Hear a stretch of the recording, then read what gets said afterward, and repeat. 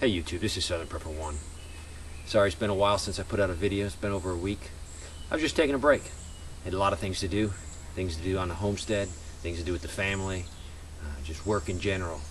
But it's also good. Uh, sometimes you just got to take a break from making prepping videos. I was still prepping in the sense of working in the garden, trying to get a lot of wood put up this year. I've actually only planted about a third of my garden space, uh, and what I'm doing now is concentrating on fire. We're trying to get enough for this year and next year, so it's going to be good, good in season and dry. But a break is good, so I urge you, if, if you're getting a little burned out on the prepping thing, take a break. Stop, smell the roses, um, concentrate on what's important, your family and friends. So don't be don't be scared to put the brakes on prepping and, and spend time relaxing. My last video, I posted a video on ham. The, the gentleman owned all that passed away, and his friend was trying to get rid of it for the family. I received oh, probably 80 to 100 PMs. A lot of them I couldn't get back to. Uh, I wish I could. I apologize for not getting back to them. Because if you spend the time to, to PM me, I, I try my hardest.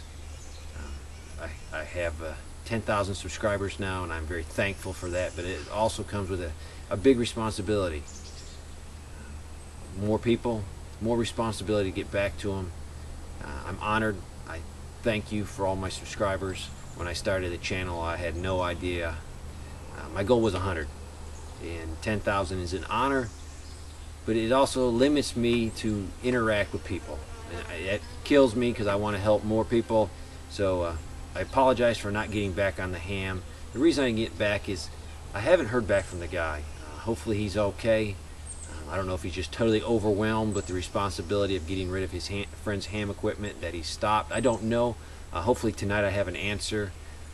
There's a lot of good equipment there, and if, if, I can help the guy get some money for it to, to give the family and also get some good equipment in Prepper's hands, it's a win for everyone. I did go to the conference and, and spoke on the conference. Uh, it was a great time. The author of One Second After, William, was there, so I went to went out to eat with him. It was a, it was a good good time to talk to him.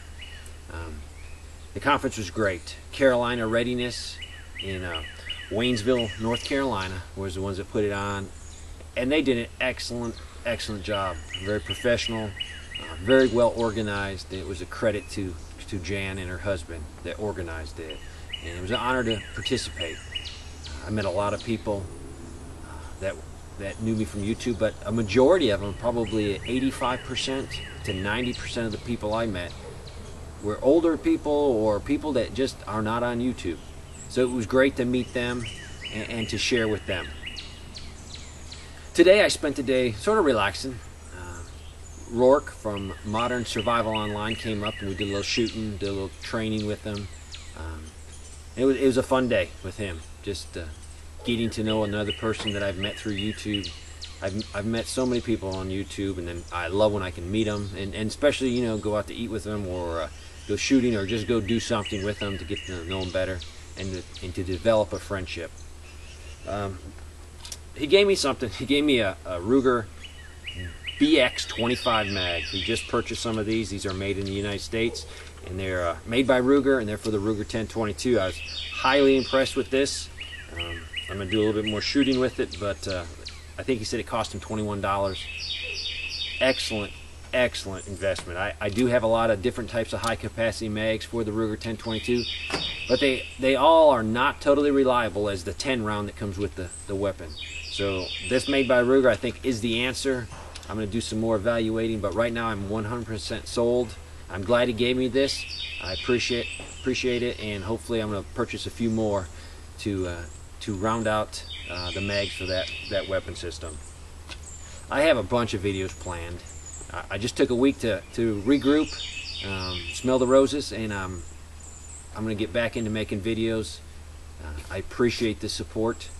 The support is what keeps me going. There's, there's nasty trolls out there, there's nasty people, but 99% of the people on YouTube that subscribe to me or, or watch me are excellent people. And I appreciate the support I get from you it is, is not taken for granted. Thank you.